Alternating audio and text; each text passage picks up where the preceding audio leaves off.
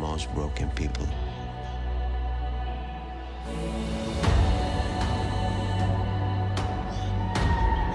Can be great leaders.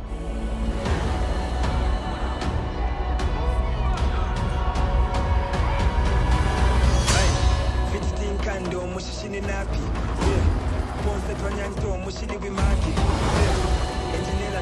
wa His people did not call him general or king.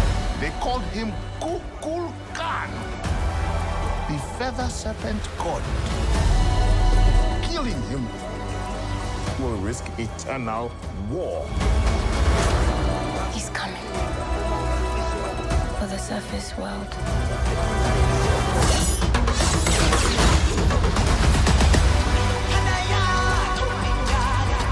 We know what you whisper.